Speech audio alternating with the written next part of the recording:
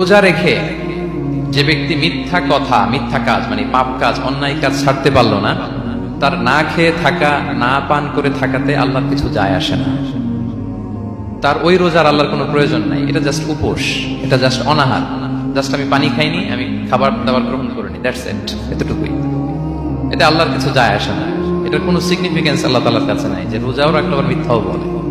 রোজাও রাখলে আবার কি গিবত করতেছে? রোজাও রাখে, অন্যের জন্য অকল্যাণ কামনা করে। রোজাও রাখে, খারাপ কাজ করতেছে, নিষিদ্ধ কাজগুলো করতেছে।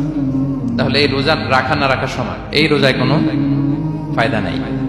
একটা ওয়ার্নিং পাওয়া গেছে না এখানে?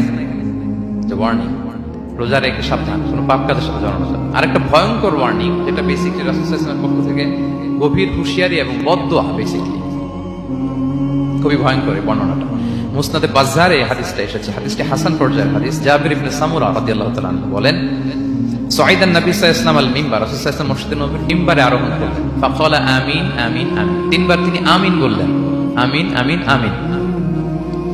ফালাম্মা নাযালা সুইলা আন যালিক। যখন নেমে আসলেন, জিজ্ঞেস করা হলো, রাসূল সাল্লাল্লাহু আপনি আমিন আমিন আমিন বললেন? এমন তো করতে দেখি না কখনো। কেন বললেন? ফাকালা, রাসূল সাল্লাল্লাহু বললেন, আতানি জিবরিল। জিবরাইল একটু আগে আমার কাছে এসেছে।